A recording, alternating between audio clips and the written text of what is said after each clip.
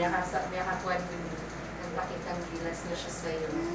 Sabi niya, sige, pray mo, mami na bird, pray mo na bird. It's really too early, but inshallah na next month. Um, I'm trying to see it, pero